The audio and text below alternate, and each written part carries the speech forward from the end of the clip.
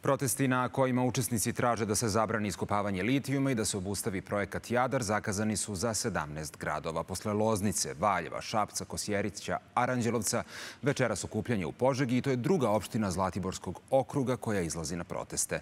Naš Nebojša Jovanović je tamo. Nebojša Požega je odabrala slogan Neće proći, a organizator je inicijativa za Požegu. Ko su oni i šta su večerašnje poruke? jer sam siguran da jako dobro poznajete Nakon Kosjerića štafetu organizacije protesta preuzima Požega. Kosjerići su juče oborili rekord kada je poseta u pitanju odnosu na broj stanovnika, a po svemu sudeći tu je i Požega. U 19 časova počelo je obraćanje na ovom procesnom skupu, kažu takođe jedan od najvećih skupova posle 2000. ovde na centralnom gradskom trgu u Požegi. Požežani su prvi krenuli u tu borbu protiv iskopavanja litijuma. Ovde su bila planirana, e, planirani istražni radovi u Dobrinju, dakle poreklom i Miloš Obrenović, zahvaljujući upornosti, brojnim akcijama, e, povučena su istražna prava e, i e, kažu da su delom uspeli dakle, da se odbrane od iskopavanja i otvaranja rudnika. Sa nama je Vojislav Milovančević, urednik portala Nova RS, inače Požežani, Vojo nakon Kosjerića sada i Požega večeras protestni skup. Da li ste iznenađeni brojem i jel nam ovo govori da i u malim mestima obeđen strah?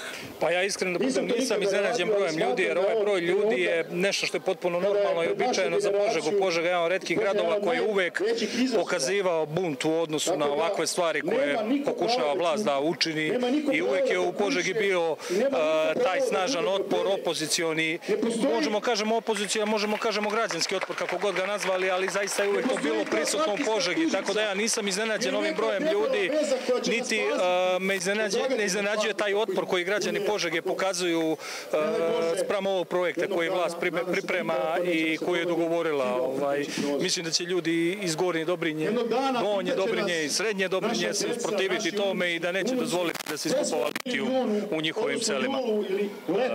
Probuđena je Srbija, prostvojili opasnost opet da se ova energija i ovaj pozitivan duh koji smo, ja ću reći, zapamtili tim protestima 96. 97. pa 2000. ponovo da se izduva.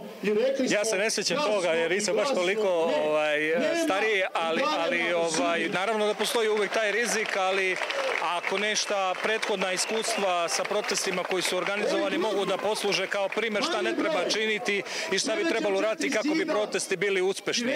Ja mislim da je ovo baš jasna poruka vlastima da e, ne postoji baš volja u narodu da se izgura taj projekat i da se iskopava litijum u Srbiji, bar ne u ovom trenutku kada ne postoje nikakve garancije da bi to moglo da se čini bezbedno da se ne ugrožava životna sredina. Ja sam već jednom prilikom rekao, ja bih to voleo da ponovim, mi smo imali ekipu na vlasti koja nije bila sposobna da posluži kocke na trgu Republike. Kako mi možemo da verujemo da će takvi ljudi koji nisu bili sposobni da to učine sutra moći da nam garantuju da će moći da vode računa da se sve to čini po ekološkim standardima da se ne ugrožava životna sredina. Ja nisam sklon da im verujem, a vidim da i ovi ljudi koji se ovde nalaze iz mnogo različitih razloga nisu skloni da im veruju. Hvala vam puno što ste bili naš sagovornik. Požežani su se odlučili za čisto, za čisto lokalnu inicijativu. Večera će se obratiti isključivo lokalni aktivisti, to su profesori, lekari, poljoprivrednici, studenti, penzioneri. Prema nekoj slobodnoj procedi ovde ima oko 2000 Požežana. Nebojša, hvala ti. Iz Požegi izvestio naš Nebojša Jovanović.